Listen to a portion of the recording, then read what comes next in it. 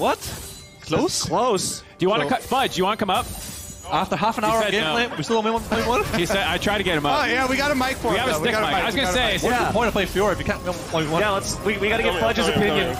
Coming, coming. We got to get Fudge's Do you, guys, opinion. you guys can hear me? Can you guys Yes, hear me? yeah, we got you, hello, bro. hello, testing, Fudge on the testing. Hello, hello. Hello, how are you guys? All right, Dude, nice, nice kicks. Thank you, thank you. I'm gonna, I'm gonna stand uh, behind You- you want Captain my seat? Here, I- No, no, no, no, no. Welcome, sit welcome. down, man. Sit down. You're the main one here. Oh man. Oh, Um, really? Fiora versus Renekton right now, it's a very close matchup. I would say probably Fiora wins if he's like really, really good, but it is NA Fiora, you know. Oh, You've seen teleport. Fudge's Fiora well, as Ved mentioned, so.